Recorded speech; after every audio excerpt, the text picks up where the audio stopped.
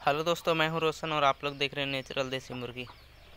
तो दोस्तों, आज के वीडियो में हम लोग बात करेंगे कि काफ़ी व्यूवर्स हमसे कमेंट करके बोल रहे थे कि आपने सारा मुर्गी सेल कर दिया। तो मैं आप लोग को बता दूँ कि ये इतने सारे मुर्गी अभी बचे हुए हैं। और ये अभी ये वो बड़े वाला मुर्गिया बारी की तरफ़ है और ये ये घर में रखे हैं, वो वाली मुर्गी, मुर्गा है। और अभी मेरे पास मुर्गी एक, दो या तीन और भी है और अभी वो बाहर की ओर चल गई है मतलब बाउंड्री से बाहर चल गई है तो अभी अभी नहीं है। और देख सकते हैं यहाँ पे मेरे छोटे चूजे। तो इनमें से दस चूजे थे तो इनमें से एक चूजे घट गए पता नहीं। जंगली पक्षियों ने ले गया होगा।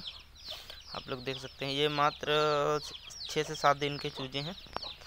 आप लोग देख सकते हैं कितने सब स्वस्थ हैं। किसी किसी में भी कोई बीमारी नहीं है, क्योंकि इनका अपडेट हमने दिया था एक दिन का चूजे बोल के, और आप लोग देख सकते हैं इतने सारे भी मुर्गियाँ हैं।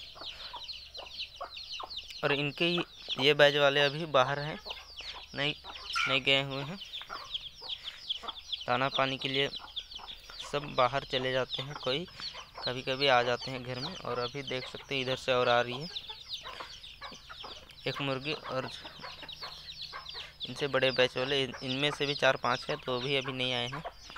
देख सकते हैं। क्योंकि ये प्योर हमने खुड़क द्वारा ही सब बात चूजे निकलवाए हैं और ये मुर्गा से ही क्रॉस करवाए हैं, आप लोग देख सकते हैं। और इन्हें, यही मुर्गा के क्रॉस किए हुए ये बच्चे हैं।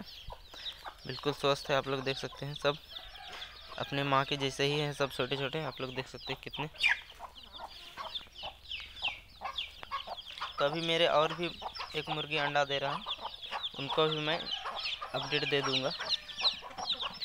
क्योंकि हमने और इनको कोई फ़ीड नहीं देता हूँ घर का ही चा, चावल वगैरह कोई गेहूँ वगैरह तो इनको तो छोटे वाला को तो छोटा चावल का टुकड़ा ही देता हूँ खुद वाला। और अलग से कोई मार्केट से कोई दाना वगैरह नहीं ला के देता हूँ। तो दोस्तों उम्मीद करता हूँ कि आप लोगों को मैं बता दिया हूँ कि हमने सारा मुर्गे सेल नहीं कर चुका हूँ, क्योंकि वीडियो थोड़ा कोई प्रॉब्लम हो जाने के कारण नहीं आ पा रहा था। कि काफ़ी व्यूवर्स बोल रहे थे कि सारे मुर्गियाँ बेच दिए तो अब वीडियो क्या चीज़ में, कैसे बनाओगे, मुर्गियाँ नहीं है तो हमारे पास वीडियो बनाने के लिए मुर्गियाँ हैं। और इसी तरह से फ़ार्मिंग करना है तो हमारे चैनल को सब्सक्राइब करें।